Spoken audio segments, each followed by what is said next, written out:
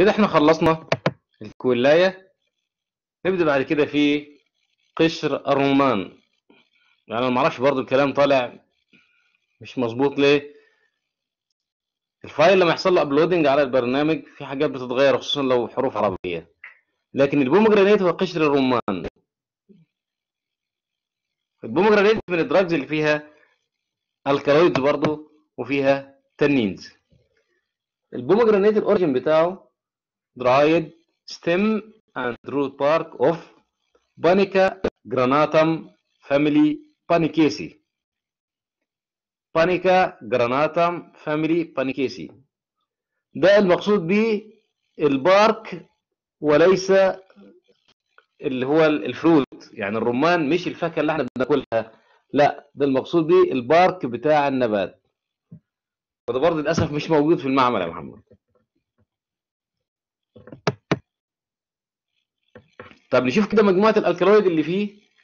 في عندي piperidine alkaloid زي ما اتكلمنا قبل كده على ال nucleus. أي ال stem أو ال root يا حسن سواء stem bark أو root bark. هنا مجموعة ال alkaloids عبارة عن piperidine alkaloids في عندي الأربعة alkaloids دول أساسيين لازم يتعرفوا اللي هو ال pelletierine وال isopelletierine وال methyl pelletierine وال pseudopelletierine يبقى في اربعه alkaloid بالإضافة للتنين. ال alkaloids أسمائهم لازم يتعرفوا. ال pelletierine وال isopelletierine وال methyl pelletierine وال pseudopelletierine طبعا بالإضافة لل tannin. ال uses بتاعت هذا النبات anthelmintic anthelmintic يعني إيه محمد صواب. anthelmintic يعني إيه يا نبيل الله يفتح عليك. طارد للديدان تمام. تمام الله يفتح عليكم يا شباب. يبقى anthelmintic وخصوصا لل tapeworm يعني للديدان الشريطية. إحنا عارفين الديدان أنواع. في ديدان الاسطوانيه والدبوسية والشريطية. هنا ال pomegranate أو ال bark بتاع الرمان خاص بال tapeworm اللي هو الديدان الشريطيه طبعا لوجود التنين طبعا ال anthelmintic action ده عشان خاطر ال alkaloids مش ال tannins لأن لو التنين بتطرد الديدان يبقى كنا اتكلمنا عن الشاي إنه بيطرد الديدان والكلام ده مش صح. يبقى هنا الاكشن بتاع ال anthelmintic عشان خاطر مجموعة الالكالويد البليترين والايزوبليتين والميثايل بليترين والسودو بليترين تمام يا نبيل؟ زي ال Kamala. ال Kamala إحنا قلنا عليها برضو anthelmintic لكن الاكشن بتاع التنين إحنا قلنا قبل كده astringent و hemostatic hemostatic معناها موقف للنزيف في حالة الناس اللي بتنزف بسرعة أو الناس اللي عندها ال hemorrhoids. لأن الناس اللي عندها ال hemorrhoids غالبا بيبقى فيه نزيف. ال chemical test أنا هنا عندي تنين وعندي alkaloid. فال alkaloid ك general test مع ال Mayer وال tannin ك general test مع ال ferric chloride.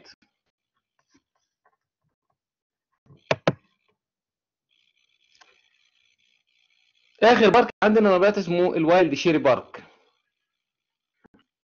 النبات ده يعني ال family مرت علينا لكن هو نبات للأسف برضه مش موجود في المعمل. النبات اسمه ال wild cherry.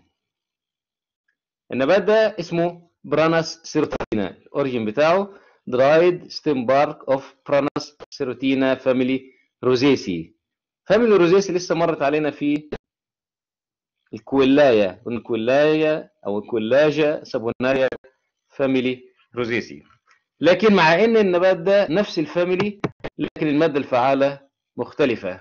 يعني إيه؟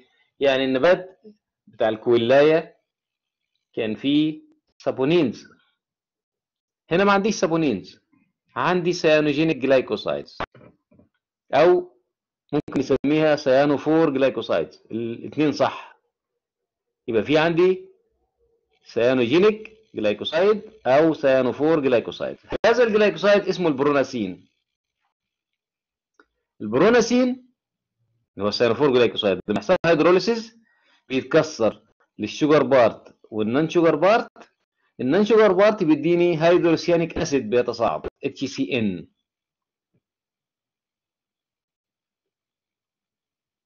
طيب في إيه تاني؟ في عندي tannins أنا كاتب في ال constituent cyanogenic glycoside prunasin and prunase enzyme.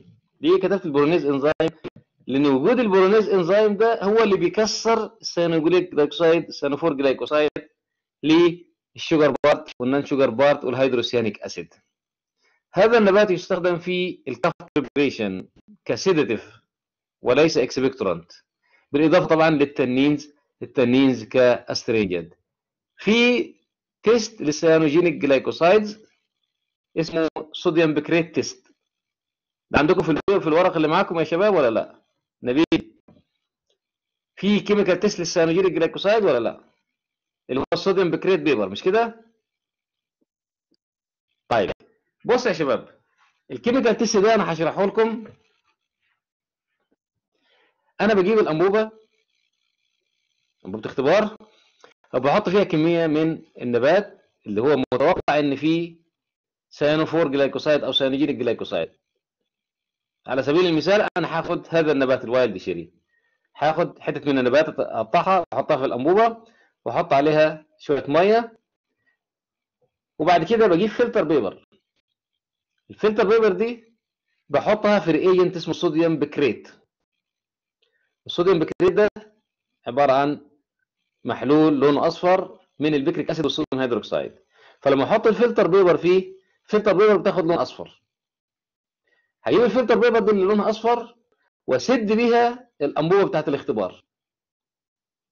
وأستنى شوية أو لو أنا عايز أسرع الاختبار شوية test هحطه في water bath مجرد ما يحصل hydrolysis بهذا ال glycoside بيتكسر لل sugar part وال non-sugar part وال non-sugar part بيديني جزء منه ال HCN HCN hydrocyanic acid. ال hydrocyanic acid ده غاز بيتصاعد. لما يجي يتصاعد الأنبوبة مقفولة بال sodium picrate paper ال sodium picrate paper اللون بتاعها أصفر هتتحول للون الأحمر. يبقى لو أنا عندي نبات مش عارف فيه cyanogenic glycoside ولا لأ هعمل نفس الطريقة دي. وأحط برضو النبات وأحط عليه نقطة ميه ممكن برضو أحط نقطتين acid يزود التفاعل يسرع التفاعل. وأحط الورقة اللي هي ال filter paper اللي لونها أصفر وأحطها في ال water bath. لو الورقة اتحولت للون الأحمر أو بها فيها spots لونها أحمر معناها في hydrocyanic acid تصاعد. معناها النبات عندي فيه cyanogenic glycoside لو فضلت الورقة صفراء زي ما هي معناها ما فيش HCN تصاعد. يبقى النبات اللي عندي ما فيهوش ال cyanogenic أو ال cyanophore glycosides خلاص يا شباب؟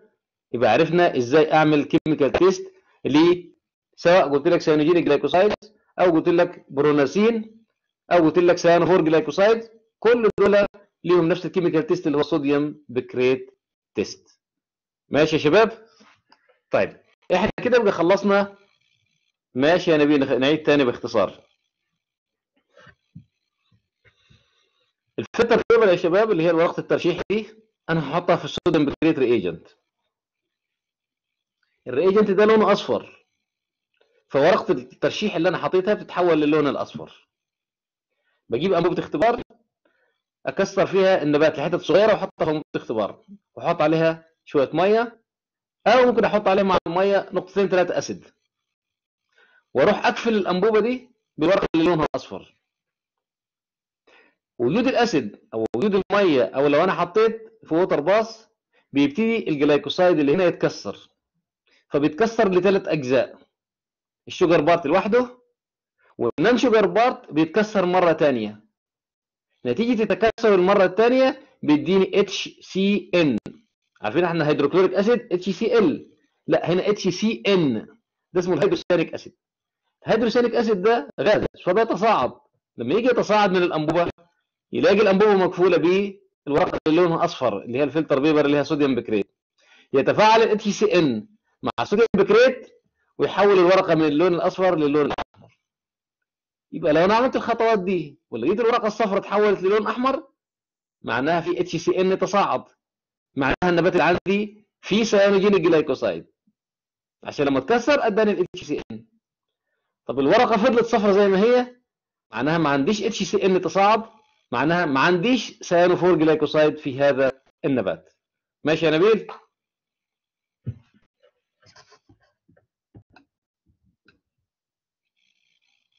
لا أنا بص أنا هحط يعني واحد مثلا سنتي مية واحد سنتيمتر مكعب مية. ممكن التجربة دي تاخد وقت معاك. أنت عايز تسرع التجربة. حط نقطتين ثلاث أسيد مع المية مفيش مشكلة. أنت بس بتخلي الميديم أسيدك. يعني هحط مية وهحط نقطتين acid وأحطها في ال water bath. كل دول يسرعوا لي في التفاعل يخلوا إيه ال hydrolysis يحصل بسرعة. كده بقى إحنا خلصنا الجزء بتاع ال bark هو اسمه sodium picrate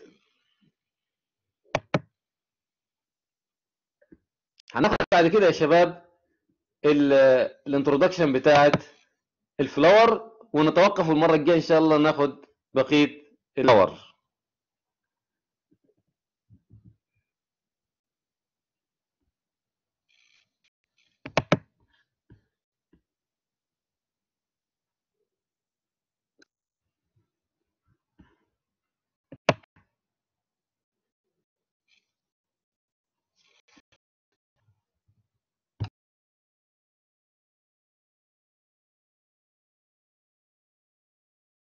لحظات يا شباب بعمل بعمل للفايل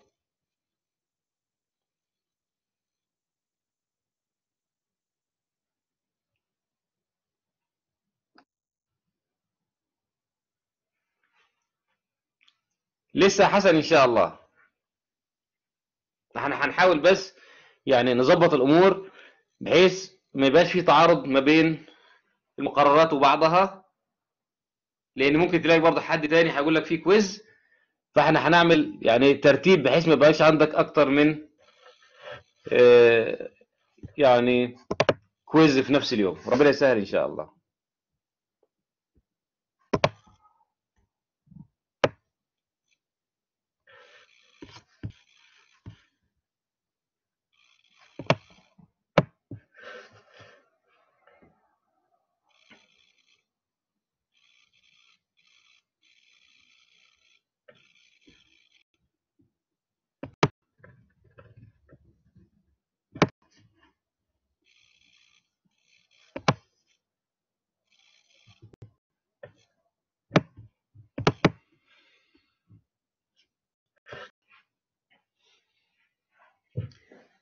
هنبدأ شباب جزء جديد اللي هو جزء ال flower. ال flower معناه الزهور. زي ما اتكلمنا في مقدمة ال leaf مقدمة ال herb مقدمة ال bark ومقدمة ال flower. إن أنا باخد الجزء من النبات اللي نسبة المواد الفعالة اللي فيه عالية. فزي ما بعض النباتات المادة الفعالة مركزة في جزء ال bark أو ال leaf في بعض النباتات المادة الفعالة مركزة في جزء ال flower أو الزهور. وأشهر مثال إحنا عارفين ال- ال- الورد والياسمين. أنا ما باخدش ال bark بتاع هذا النبات أنا ما باخدش في الجذور أنا باخد الزهرة بتاعته عشان الريحة بتاعتها. في بعض الزهور ليها استخدامات طبية. فلأن المادة الفعاله مركزة في جزء ال flower أنا باخد ال flower ك part أو ك main part ف main part for medicinal use طيب ده شكل ال flower عامة اللي أنت تعرفها. لكن لو حبينا من الناحية العلمية نعرف يعني إيه flower هنشوف الديفينيشن اللي عندنا ده. Highly specialized compressed organ. Adapted for the production of the fruits and seeds. اللي هو propagation of the plant. يعني إيه الكلام ده. يعني الزهرة جزء خاص جدا من النبات. بيختلف في الشكل بتاعه عن بقية النبات. يعني جزء يختلف عن الورقة يختلف عن الجزء وبيتكون من أكثر من جزء. يعني إحنا عارفين إن الورقة شكلها ثابت الساق شكله ثابت لكن الزهرة نفسها هي نفسها بتتكون من أكثر من جزء جوا منها. هي خاصة ب استمرارية النبات. يعني إيه استمرارية النبات؟ يعني الزهرة في مرحلة لاحقة بتديني الثمرة والبذرة. البذرة دي هي لما تزرع بتديك نبات مرة ثانية طبعا إحنا عارفين إن زراعة النباتات بأكثر من طريقة؟ أحد الطرق زراعة النبات عن طريق البذور. يعني النسبة العظمى من النباتات بتزرع عن طريق البذور. وبالتالي وجود الزهرة أساسي لعدم انقراض هذا النبات. لو انت بصيت كده على كل الخضروات والفواكه اللي انت بتشوفها هات الطماطم كده. هتلاقي لو مسكت الطماطماية كده هتلاقي من ناحية كده فيها حتة خضراء اللي هي حتة الإيد اللي تمسكها منها. تلاقي خمس حتت لونهم أخضر. معنى إن الطماطماية دي أصلا قبل ما تتحول لطماطماية كانت زهرة. ولما حصل لها fertilization وحصل لها نضج أدتني الثمرة اللي هي الطماطم. لما تفتح الطماطمة هتلاقي جو منها البذور. قس على هذا الخضروات والفواكه. هات كده البسلة افتحها كده هتلاقي جو منها بذور. يبقى أصلا البسلة دي وهي لسه مقفولة كده قبل ما تفتحها دي عبارة كانت flower وحصل تلقيح لل flower وحصل fertilization وحصل maturation وبعد كده تحولت من زهرة لثمرة. ثمرة جوا منها البذرة اللي لما تزرعها تاني تديك النبات مرة تانية. خد بقى الخيار البطيخ كل الأنواع اللي أنت في البيت عندك موجودة هي دي عبارة عن ثمار بداخل منها بذور منشأها الأساسي كانت زهرة. يبقى تاني إيه الزهور أو إيه ال flowers؟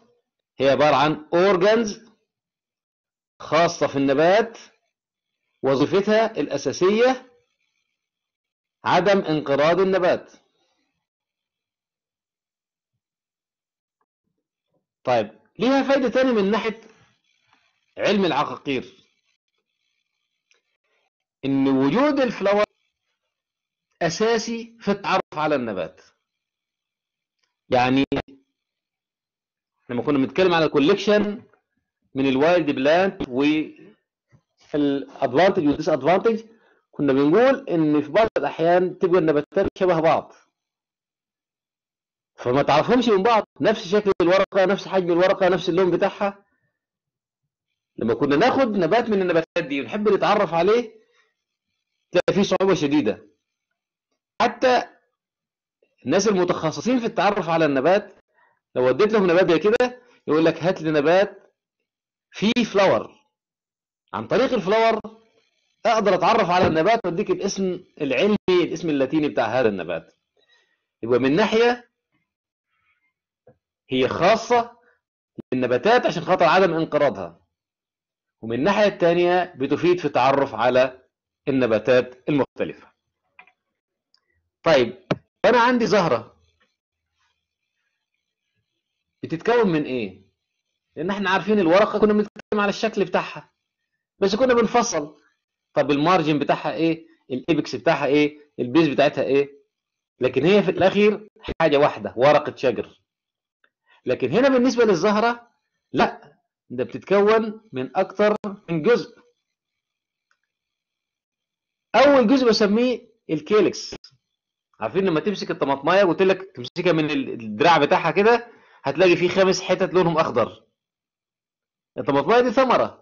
لما كانت زهره الجزء الأخضر ده هو اللي بيسميه الكأس أو ال calyx طيب الحلقة الخارجيه اسمها ال calyx اللي هي لونها أخضر. الحلقة اللي بعد منها اللي هي بتدي اللون بتاع ال flower. ال flower أو زهره اللي لونها أصفر ولا لونها أحمر ولا لونها أبيض دي نتيجة الحلقة رقم اثنين اللي هي بسميها التويج اللي هي بتتكون من البتلات.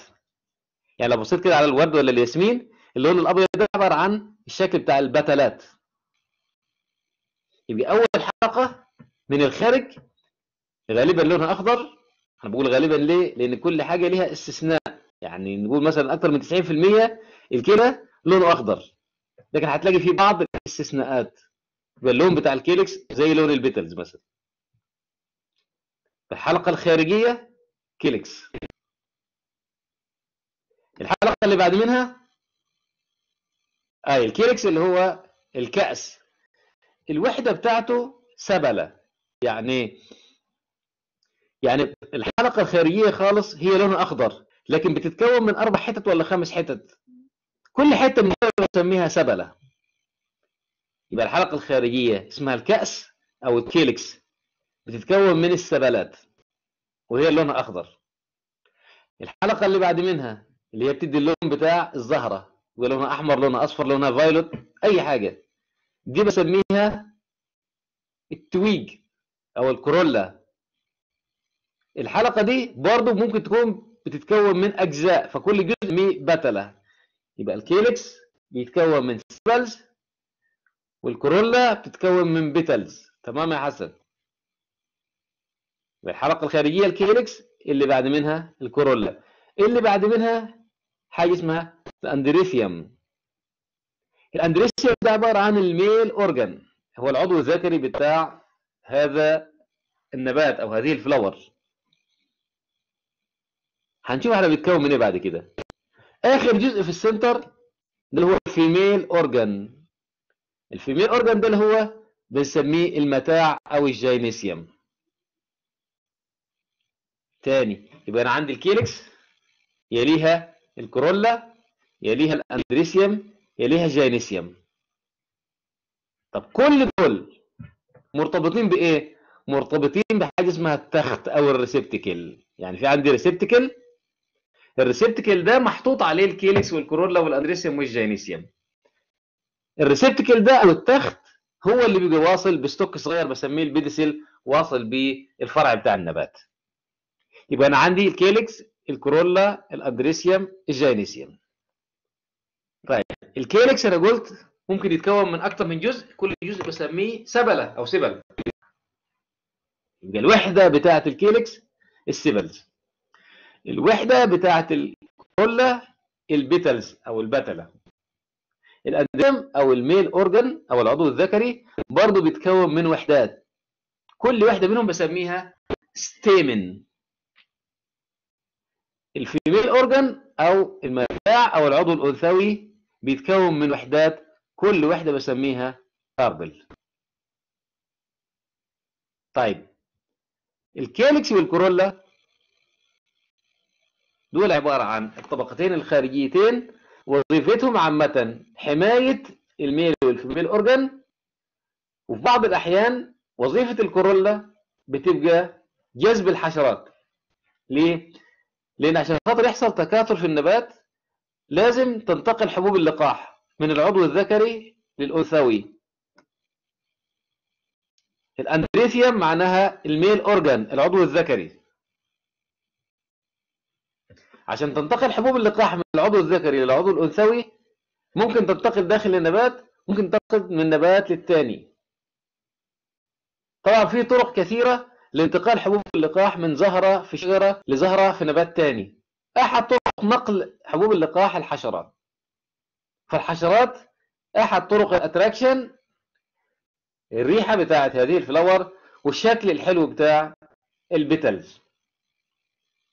لكن ال calyx وال corolla ما بيخشوش في موضوع التكاثر يعني ما لهمش علاقة في موضوع التكاثر بتاع النبات. عشان كده بسميهم non essential organ. كلمة essential مش معناهم مش مهمين. لا essential معناها هل هي بتخش في موضوع التكاثر ولا لا. الكيلكس والكورولا ما لهمش دور في موضوع التكاثر فبقول عليهم non essential organ. لأن في بعض النباتات هتلاقي ما فيهاش كيلكس أو كورولا. يبقى هم دورهم مش أساسي عشان كده بقول عليهم non essential organ.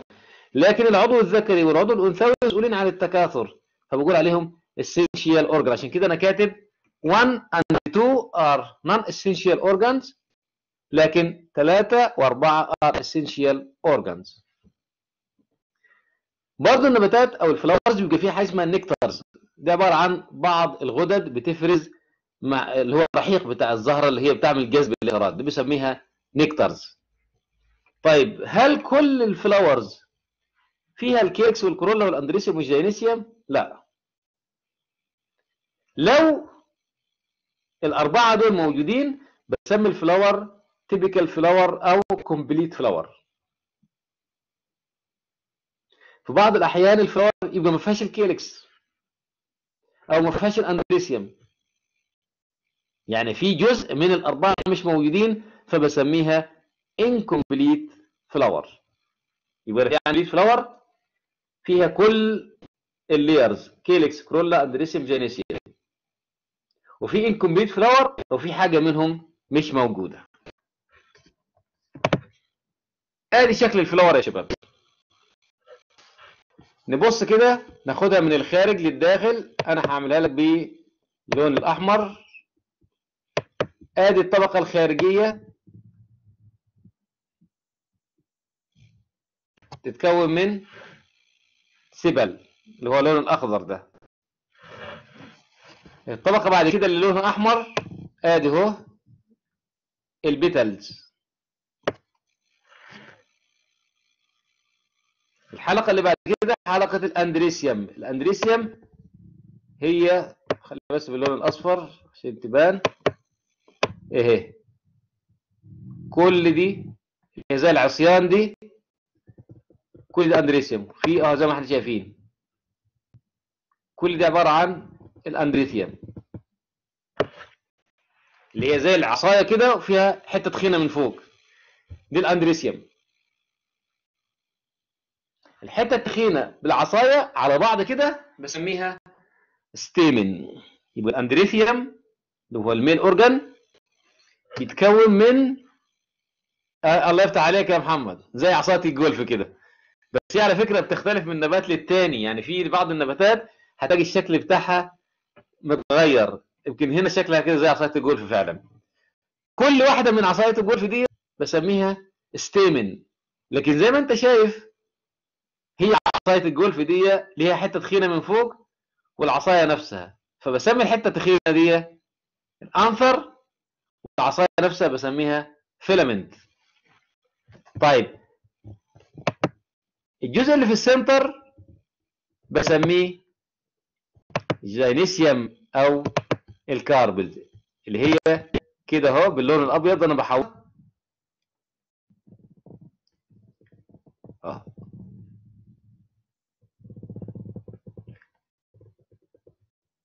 ده بسميه ال gynoecium وأنا بقول ال gynoecium بيتكون من carpels يعني ممكن تكون اللون أنا عاملها بلون أبيض يا محمد. طيب نحاول نعملها بلون أصفر.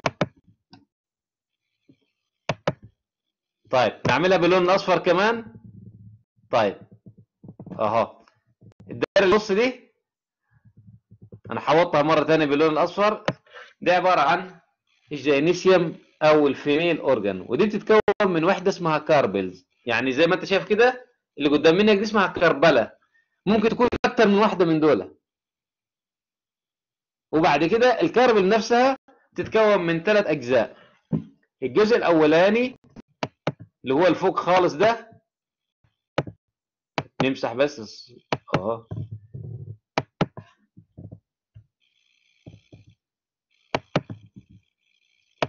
الجزء اللي فوق ده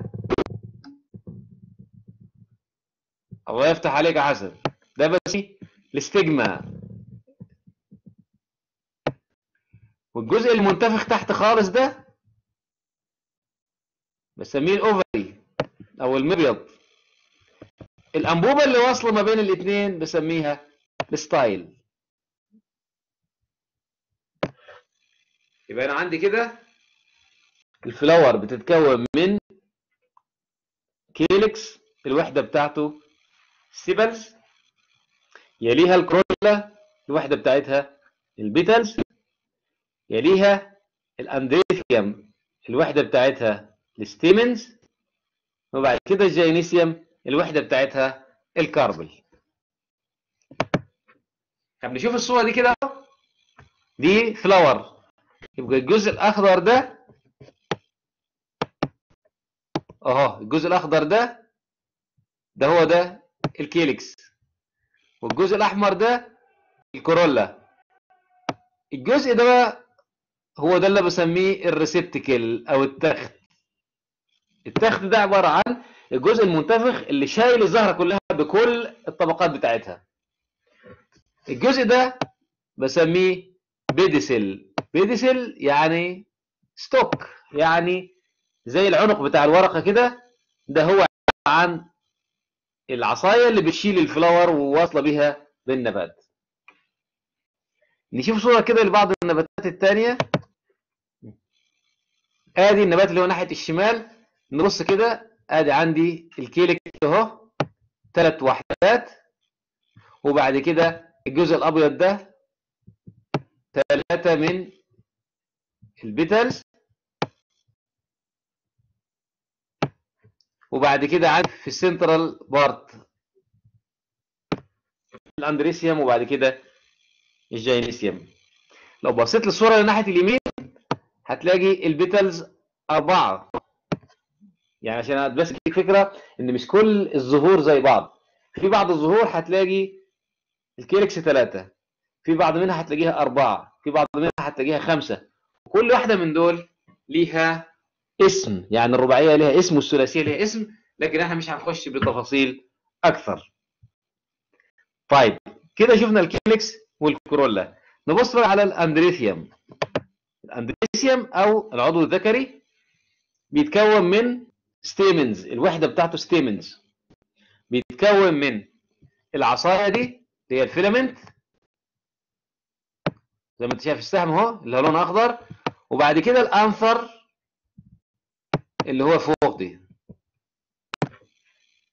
يبقى ده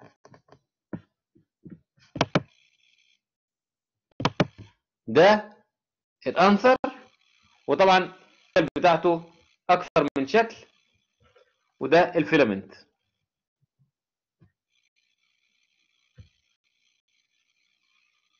طيب.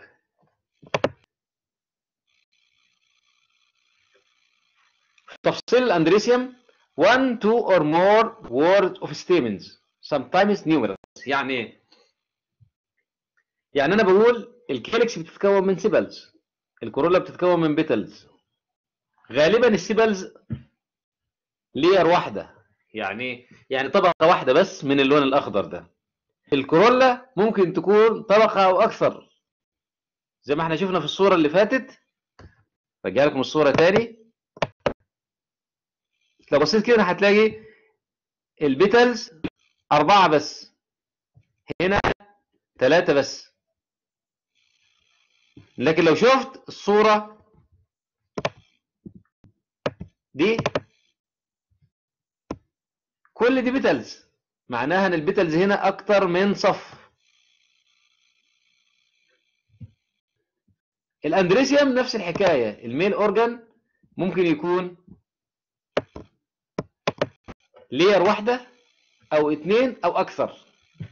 يعني تيجي تبص كده على الزهرة من فوق تلاقي جزء العضو الذكري عامل حلقة واحدة. في بعض الأحيان يبقى عامل حلقتين. في بعض الأحيان بيبقى عديد. يعني في في نبات زي القرنفل إن شاء الله لما ناخده في المعمل بنقول عليها indefinite stamen. يعني إيه indefinite stamen يعني عدد ال stamens عدد لا يعد. كثير جدا. لكن في بعض النباتات ممكن يكون إيه؟ حلقة واحدة بس بعد ال petals في بعض النباتات يبقى حلقتين. وهكذا على حسب نوع النبات. هي بتتكون من ال filament وال anther زي ما إحنا خدنا في الصورة اللي قبل كده. The anther is divided into two anther lobe by connective. يعني إيه الكلام ده؟ يعني نبص كده على الصورة دي طبعا مختلفة عن مضرب الجولف. صوات. نبص كده. خليها باللون الأصفر. بص كده آدي الجزء ده. آدي اللي باللون الأصفر ده اللي هو الأنثر واللي باللون الأحمر ده ده عبارة عن الفيلامنت. اللي الأنصر اللي فوق ده بيبقى متكون من جزئين. الجزئين دول جوه منهم حجر. الحجرات دي فيها اللقاح أنا أجيب لكم صورة ثانية هتوضح لكم الكلام ده. يبقى ال anther divided into two anther lobe يعني نصين بحاجة اسمها ال connective وال anther lobe اللي هم anther lobe أيوه طبعا. يا شباب اختلاف النباتات بيديك اختلاف شكل الأزهار. ال anther نفسه ممكن يكون شكل مختلف. زي ما إحنا نقول في بعض الأحيان بيبقى ال anther ده مثلا على سبيل المثال مثلا خمسة. خمسة منفصلين يعني كل واحدة لوحدها. ممكن يكون الخمسة متحدين. ممكن يكونوا ستة. ممكن يكونوا ثلاثة وثلاثه وهكذا. بتختلف من نبات للتاني. ال anther ده أهميته إن في حاجة اسمها ال pollen sac. يعني إيه ال pollen sac؟ يعني أصلا فايدة ال male organ ده إن في حبوب اللقاح اللي هي لما تعمل التلقيح تحول ال flower بعد كده للثمره وللبذور حبوب اللقاح دي موجودة داخل حاجة اسمها ال pollen sac. هنشوفها في الصورة اللي بعد كده. يبقى أنا عندي ال filament كل شغلانته أو ال function بتاعة ال filament إنها شايلة ال anther. بس. ليه؟ عشان ال anther يبقى عالي في مستوى أعلى يقدر يلقح ال female organ ففايده ال filament إن هو شايل ال anther. لكن ال anther هو المهم لأن جوه منه حبوب اللقاح اللي هي بتعمل عملية التلقيح. ال anther ده بيتكون من جزئين. كنت بسميه ال anther lobe.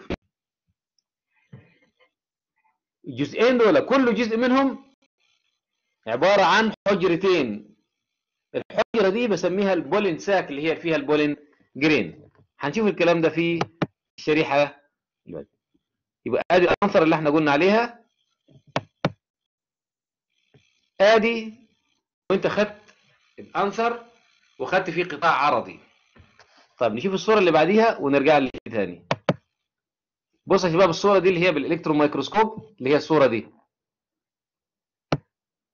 بص كده هتلاقي هي عبارة عن نصين. النص الأولاني أهو.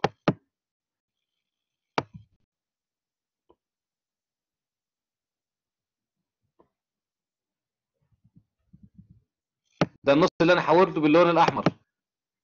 والنص الثاني اللي هو الناحية الثانية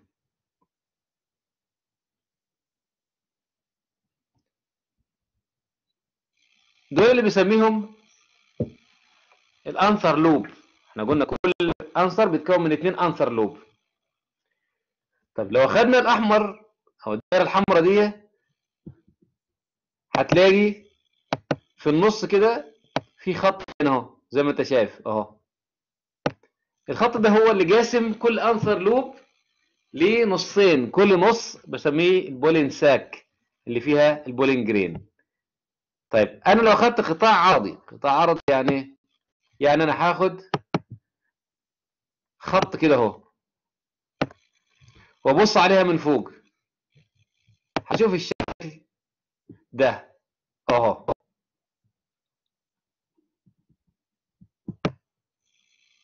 ده أنا خدت قطاع عرضي في الأنثر. طب فين هنا الأنثر؟ له فين البولين ساك؟ آدي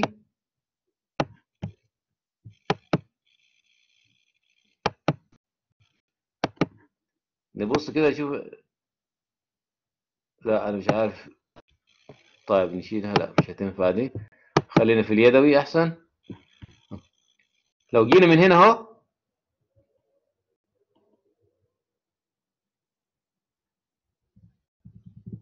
كده واحدة من ال anther lobe. وآدي ال anther lobe الثانية المسافة اللي واصلة ما بين الاثنين دي اللي أنا هعملها باللون الأصفر. مش واضح اللون الأصفر نشوف اللون الأسود. اللي واصل ما بين الاثنين ده هو ده اللي بسميه ال connective. أهو. يبقى اللي أنا مظللهم باللون الأحمر دول عبارة عن ال anther lobe.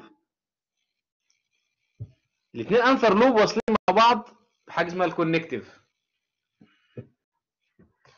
كل anther lobe من دول بتتكون من pollen sac. آدي pollen sac اهي. اللي باللون الأسود اهي. وآدي pollen sac. يبقى في عندي لكل anther أربعة pollen sac. ال pollen sac دي هي اللي فيها ال pollen grain أو حبوب اللقاح. طب إيه ال pollen grain؟ عبارة عن fine powder يعني إيه fine powder يعني هي عبارة عن بودرة ناعمة جدا. الحجم بتاعها ممكن يبقى حوالي مثلا إيه 5 مايكرون 10 مايكرون ما يزيدش عن كده. آه في أكبر لكن إحنا بنشوفها تحت الميكروسكوب. في بعض منها بشوفها بقوة 10 في بعض منها عايز قوة 40 عشان اشوفها هذه ال pollen grains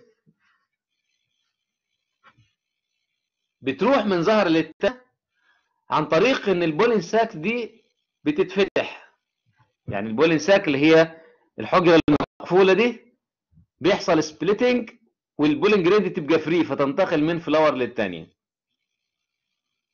ممكن الحجم بتاعها يوصل ل 200 مايكرون. يعني إيه 200 مايكرون؟ يعني لو أنت عندك 1 ملي متر على المسطرة مثلا 1 ملي متر الواحد سنتي 10 ملي. الواحد ملي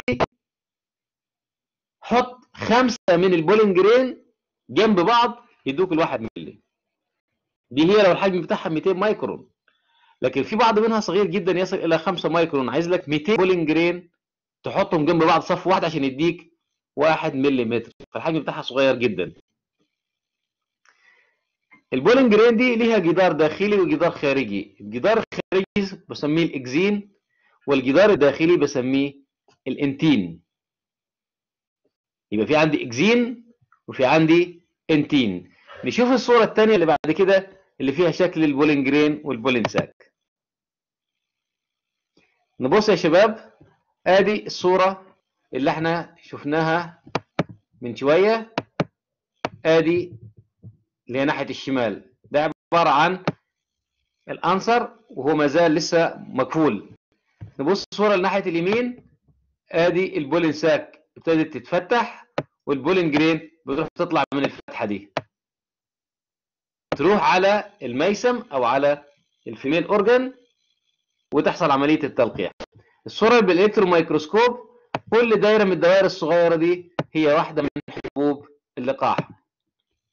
طيب لو خدنا صورة وكبرنا فيها حبوب اللقاح هتبان لك بالشكل ده. الشكل ده عبارة عن أنواع مختلفة من ال pollen grain زي ما أنت شايف في شكل بيبقى ناعم pollen grains آه. pollen grains حبوب اللقاح. الشكل بتاعها ممكن يكون مدور ممكن يكون مثلث ممكن ال surface بتاعها أو السطح بتاعها ناعم سموث ممكن السطح بتاعها خشن ممكن يكون spiny عامل زي الأشواك وهكذا. باختلاف النباتات بتختلف ال pollen grains.